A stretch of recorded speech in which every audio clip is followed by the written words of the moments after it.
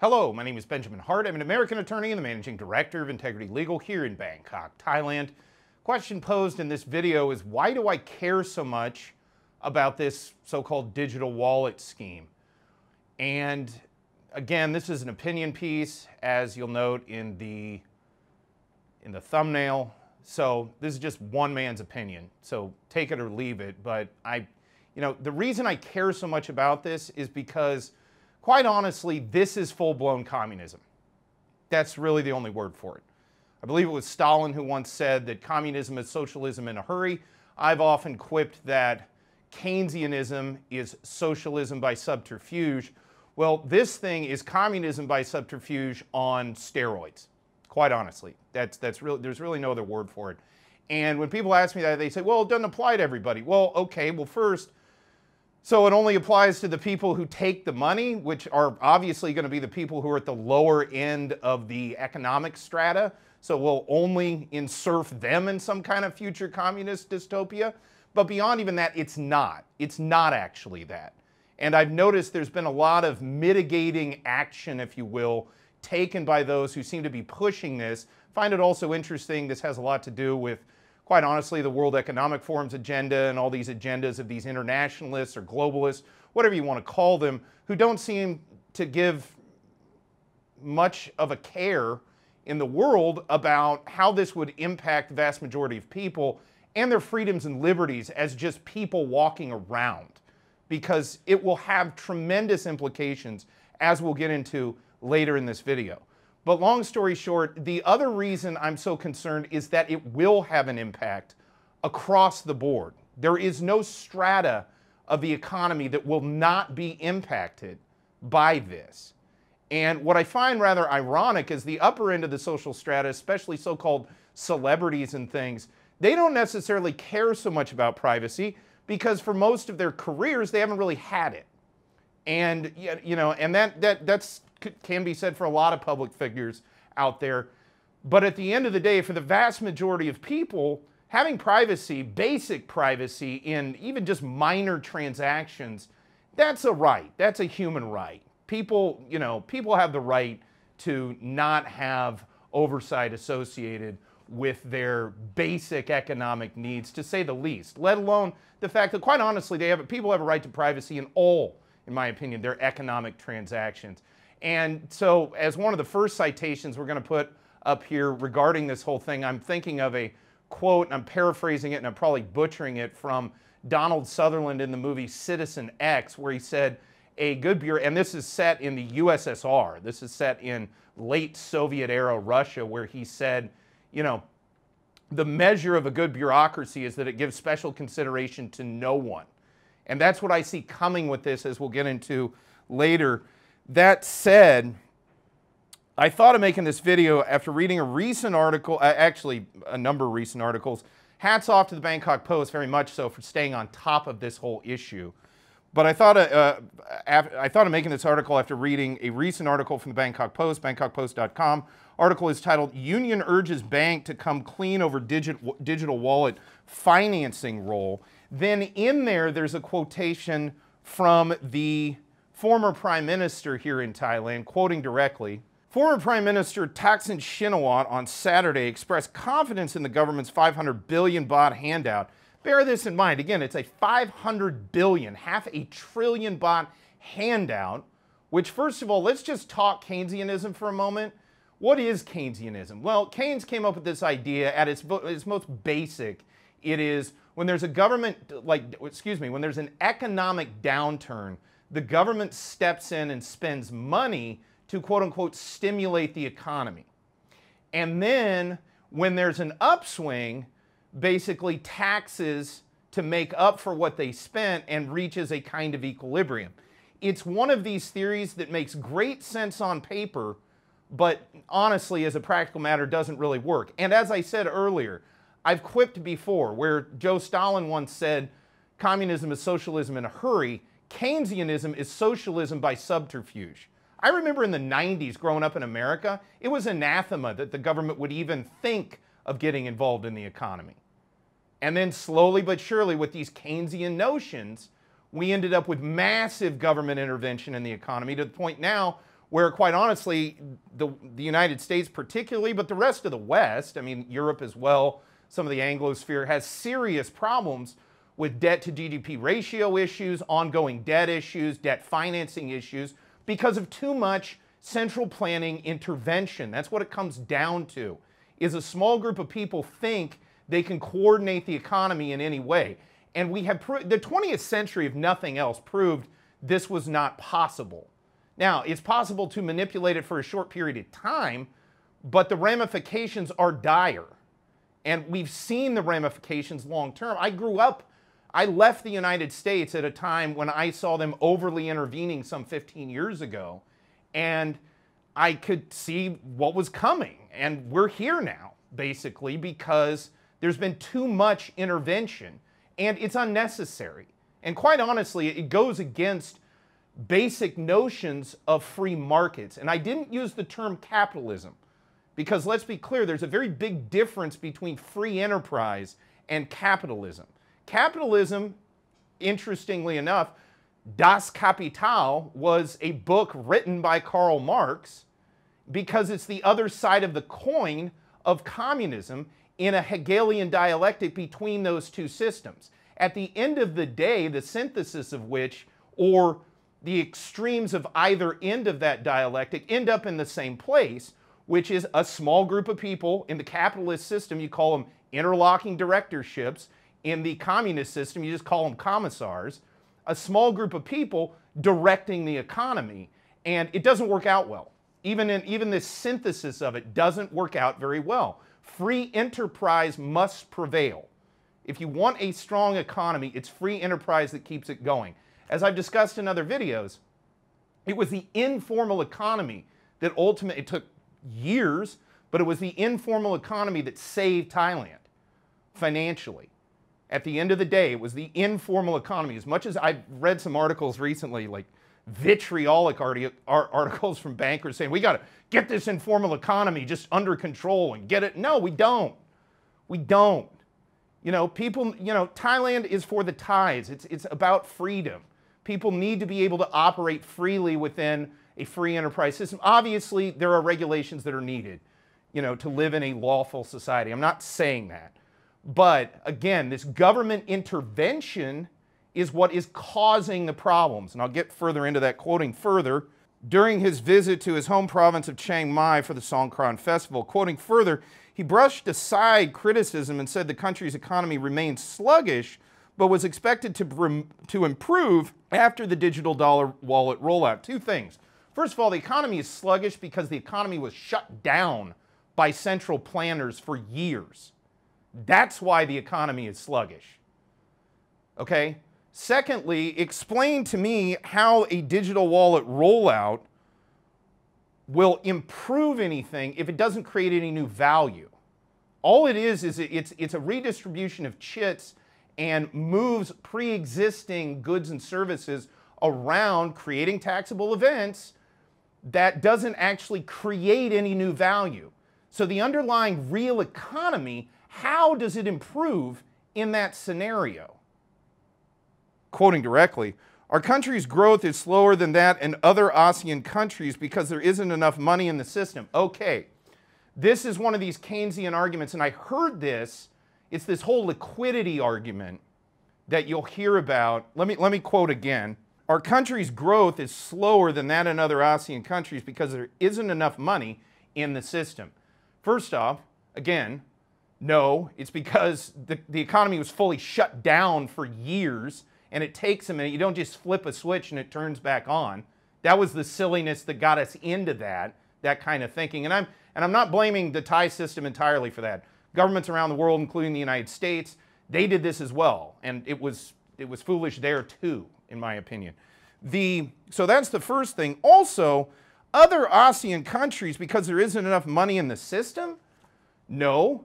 Thailand looks relatively sluggish compared to their growth in terms of GDP, which is merely a metric of bank credit, because other nations are engaging in infrastructure projects more basic than Thailand's because Thailand's economy is more developed and more sophisticated. They're not, Thailand isn't building highways for the first time. Thailand isn't building railroads for the first time or telephone lines or telecommunications lines. Thailand has all that infrastructure already. So when a less developed country, say Indonesia, for example, makes a capital improvement, their GDP goes up substantially.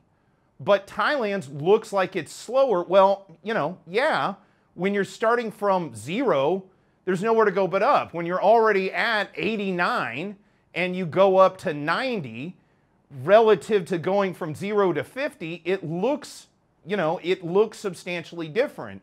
But at the end of the day, it's indicative of the fact that Thailand already has a developed economy. Quoting further, the government seeks to inject money to stimulate it, unquote. How does that work? Because the West is the best example right now of how printing money and just shooting it into the system does not help with the fundamentals. If anything, it actually makes the populations of those societies more complacent to the underlying fundamental problems within the real economy and thereby not address them.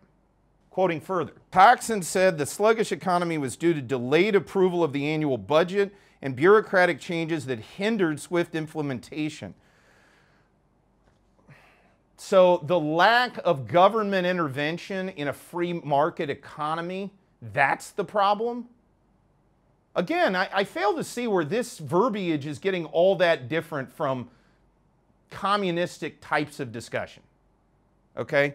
So that said, leaving that and moving over here to, again, Bangkok Post, bangkokpost.com.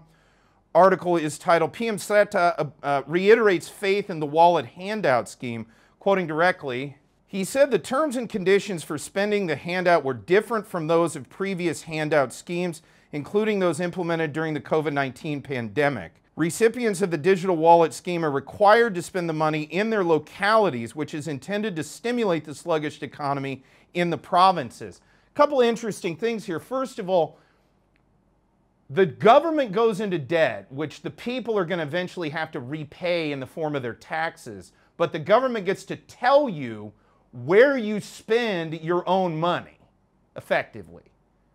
Okay? And for those that think I'm overreacting to this, I'm going to put up a clip. This actually comes from the Twitter account of Mr. Jim Rickards, James G. Rickards. And I'll put this up on screen, his actual Twitter quote. I wrote years ago this was coming, here it is. And then a subtweet that he's retweeting under Crypto T. Bank in Canada won't let customer withdraw cash. They ask him to prove why he needs cash.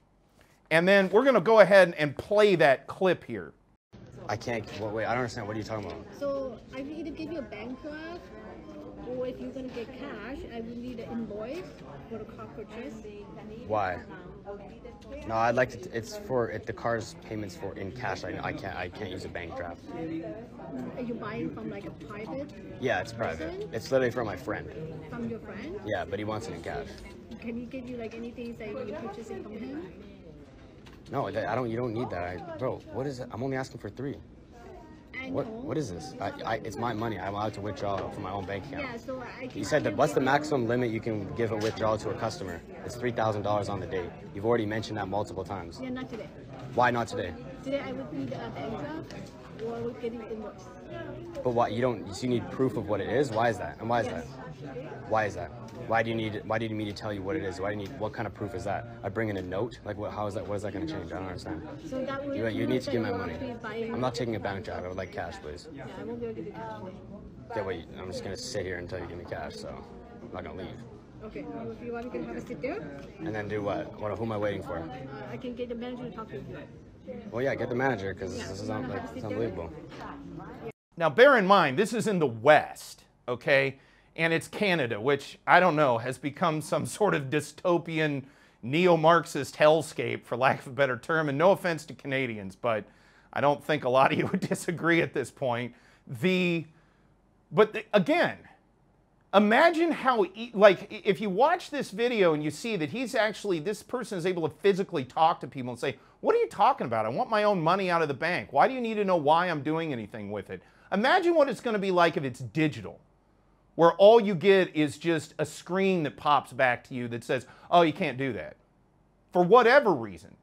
The product you're buying, we don't think it's the good time of day to buy it. We don't think you're in the right place to buy it. How many iterations of quite honestly tyranny can be rolled out with a digital system like that? Again, and who do you call?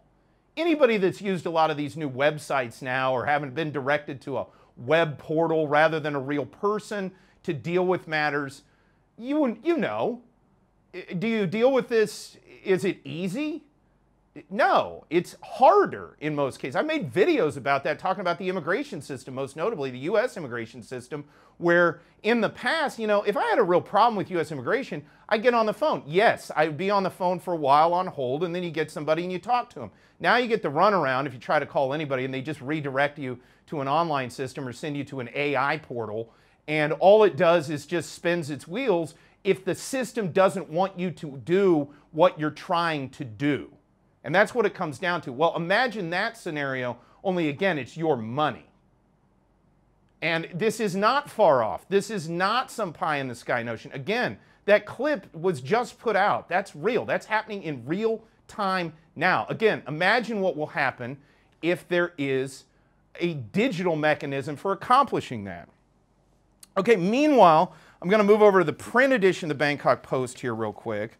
Going to put this up on screen title is Digital Wallet Super App to Link with Bank Apps. So for those who think, oh, okay, the banking system in Canada, that's a different thing than the banking system in here in Thailand. Well, no, they're linking them together.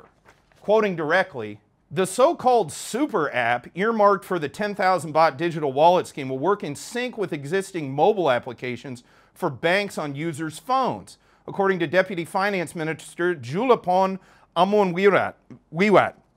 So, yeah, this has a banking aspect to it. Going back to, again, that article titled PM Srettha reiterates faith in wallet handout scheme, quoting directly, economist Anusorn Tamajai on Monday issued a five-point caution to the government regarding the plan to borrow from the BAAC, and apparently that's the agricultural bank, and there's some kind of complex scheme for funding this because they're saying, well, we're not using debt, which I'll get into that in a minute. We're not using it the way that you think we're using it. Uh, my personal opinion, a bunch of smoke and mirrors, and I'll get into why here in a minute. But the that's the background, that's the BAAC. And I urge those who are watching this video, go check out all these articles in detail. You can read the details of this and gain your own insight into it. Quoting further, among them is that the government should devise a repayment and compensation plan in which 40 to 50 billion baht should be allocated to the BAAC per year to prevent potential financial issues affecting the bank. Well, again, I thought this wasn't coming out of debt at all. You know, I thought it came out of the budget, money already collected. Quoting further, and here's, here's a real zinger. The borrowed amount is initially classified as, quote, off budget, unquote, and not immediate public debt. I state that again. The borrowed amount is initially classified as off budget and not immediate public debt. So there's a, there's a great book out there. It's called The Smartest Guys in the Room. And it's a book about the Enron Corporation, which went bust back in about, I think it was 2006, 2007, maybe a little bit earlier than that, 2005, maybe. Yeah, I was in law school when all this happened. In fact, we studied the Sarbanes-Oxley Act quite a bit because it was a response to what had happened under Enron. One of the things Enron was known to do, it's one of these pieces of accounting and financial chicanery, was to create special purpose vehicles to create off balance sheet places where Enron could put substantial amounts of debt that it didn't want its shareholders and auditors to see. And at the time, it was sort of gray area legal. And if you recall, Arthur Andersen ended up exploding over the whole thing because they signed off on some things basically that they shouldn't have in terms of the legality of the whole thing. But long story short is this was this was a known practice at the time. These special purpose vehicles that allowed for off balance sheet debt holding that then the underlying shareholders or anyone else concerned with the financial health of that company couldn't see. Quoting further, however, the borrowed amount could become public debt if future revenue cannot be raised to cover it, he said. I state that again. Let me quote that again. Put that on screen again. However, the borrowed debt could become public debt if future revenue cannot be raised to cover it, he said. Well, a couple of things here. As noted, this stimulus doesn't create any new value in the economy. It creates new taxable events, which they can then tax people on, or corporations, or whatever. So some revenue will come out of that, but no underlying value. Okay? So and then on top of it, they're all at the same time saying, well, the, the economy is so sluggish, it's so sluggish that we need to do this. But we're not going to do it until the fourth quarter of the year, which takes us over into a new fiscal year, it's my understanding. And then, or at least partially into a new fiscal year when we come back to relook at this. When we do that, is there going to be enough revenue or are they just going to call it public debt then? You see what I'm saying? They're deferring the labeling of it as debt using what it basically amounts to something akin to what in the smartest guys in the room book said special purpose vehicle to take it off calling it debt today but if we don't do this that and the other thing which we probably won't do anyway and they're even saying that well the economy is sluggish this is why we have to do this. So it seems logical to infer it's possible that it could happen that we won't have the revenue and therefore have to classify this as debt later Quoting further, quote, as the borrowed amount is initially classified as, quote, off budget and not immediately public debt, the, the estimated public debt could be lower than it is. Now, that is about as much of a definition of technocratic economic gobbledygook as I've ever heard. So it's dead unless it's not dead, unless we say it's dead. And it could be dead, but it's not dead. It is today, it's gone tomorrow. It's a whoozy, it's a whatsy, it's a fugazi, it's a this, it's a that. Come on. Come on. At the end of the day, you're trying to use debt to create an infrastructure that would cast a huge net of surveillance on every single Thai for any transaction possibly in the future that they would undertake because apparently they're tying this into the banking system. And this is not pie in the sky talk. This is not some kind of chimeric problem in the future. This is already happening in other jurisdictions where we can see it. And those jurisdictions are dealing with cash. We're not even talking about having a digital system where, again, you won't even talk to a person. They'll just say, well, you can't have your cash for that purpose. Can't use your digital tokens for that purpose. Again, my problems with this don't, again, it, I, I was listening to, I believe it's uh, Dave Collum the other day, and I'll put up a, I'll put up a link uh, in the description below to his Twitter. He's got a lot, he does a lot of YouTube as well, where he was talking about how Matt Taibbi got into all the chicanery that went down in the last financial crisis in the United States. And it, it was only when Taibbi heard that it's not a financial problem, it's a crime problem that is paradigm shifted. I'm not saying there's any crime going on here, but this is not a financial issue to my mind. This is a Marxism issue quite honestly. I know I'm getting a little sweaty on this, on this video. It's hot in this room, but I want to get this thing done and out. So to my mind, you know, I, and I don't necessarily think any of the folks that are trying to go for this are like Marxists or anything. And they just, I just think that this is a lot of technological smoke and mirrors. I think people can act in good faith and say, oh, hey, we don't actually have to print money. We can, we can create stimulus in the economy and then, and then just do it all digitally. I think people are actually acting in good faith, but I don't think they are really looking at the ramifications of this, and I don't think they understand that the places where these plans and schemes are promulgated do not have the best intentions of the populations of the world at heart. I definitely don't think they care at all about the population of Thailand, these internationalists, these globalists. At the end of the day, I just think they like control or whatever. But long story short, again, I don't think any of the local people here. I just think I just think it's one of those things that sounds like a good idea, and then you dig into it just a little bit, not unlike communism for that matter, or Marxism, where you you know each according to his ability, each according to his needs. Oh, that sounds really nice until you dig in to the implementation of it. it's horrible. You know, it's basically the horrific history of the 20th century. Long story short, and again, before I melt like a snow cone in Phoenix, the point I'm trying to make here Again, this is not a finance issue. This is not a liquidity issue fundamentally. And secondly, if nothing else, the past 15 years has proven that this whole, oh, let's just inject liquidity and that, that'll solve all problems. It doesn't. It's been proven that it doesn't. You can look over at the West and just see that that is the case. It's self evident at this point. Okay? The point I'm trying to make, though, is the other side of the coin is also it, it's basically totalitarian surveillance. And it's us Thais that would, in the end, be the ones paying for it.